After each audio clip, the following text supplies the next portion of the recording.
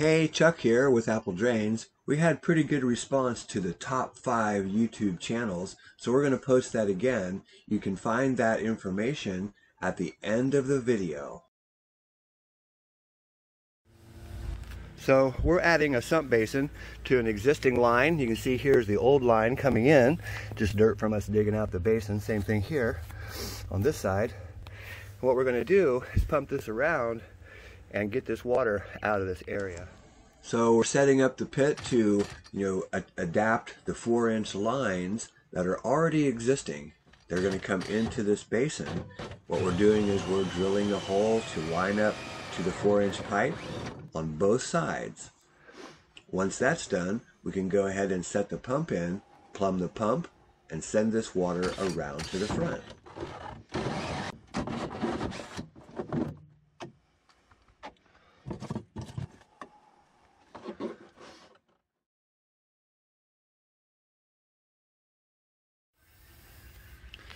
Okay, so we've connected the outlet line also, just in case that line backs up, it'll come into the pit.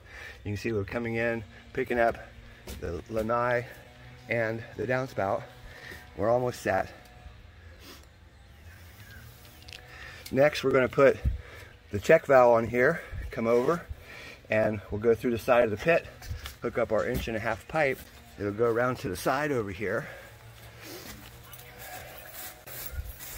Comes all the way around. It'll come over here and tie into the line right down here, right here.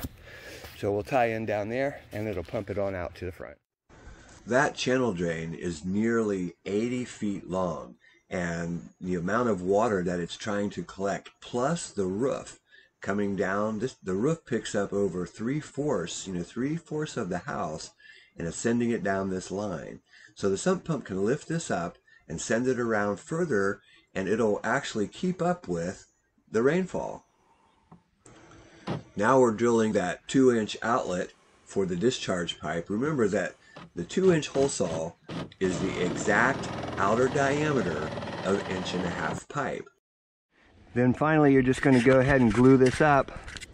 Just glue it up good amount of glue. Can you smell it? Tells me we're almost to completion. And it should line right up, and it does. Just push and hold. And this sump basin and sump pit is ready to go. You know, we're using, you know, the used one, the used Zoeller M98, and the customer had this one, and we're just going to use their pump. It's going to work fine. Looks dirty, but it's brand new, so no worries.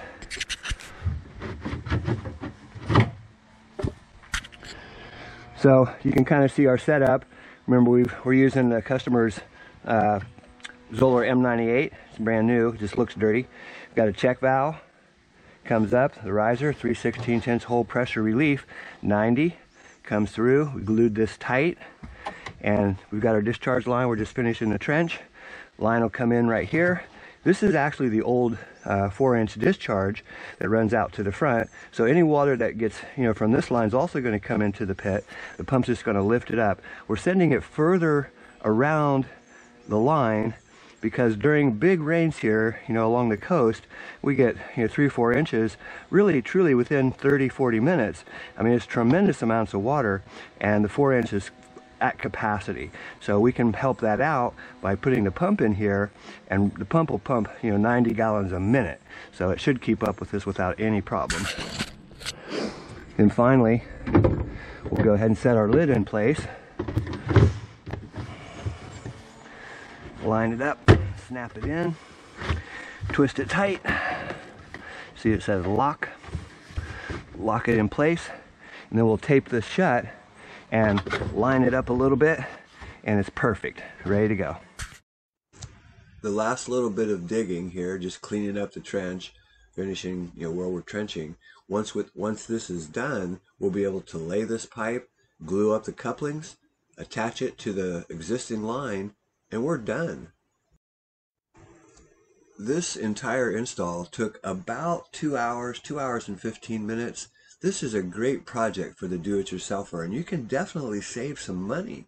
That Zoeller M98, even though it's used, it's going to work fine, and it's going to keep up with the amount of water that's coming off of that roof and the patio.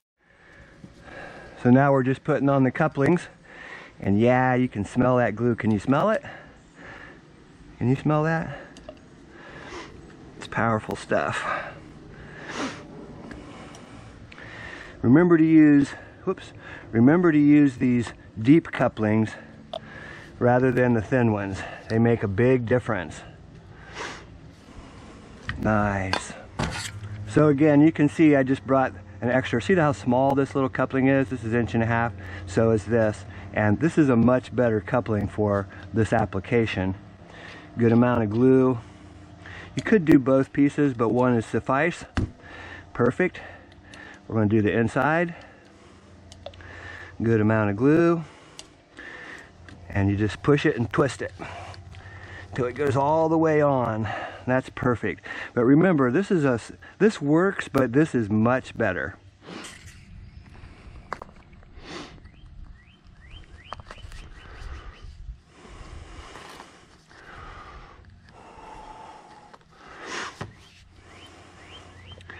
What this does is it gives us just a little bit of play. Whoops, bit fell out. It gives us just a little bit of play in our turn for our pipe. And these work really good. Probably one of the best inventions ever made for plumbing. At least for vent, you know, waste plumbing. Perfect. Now we're ready to connect to the pipe.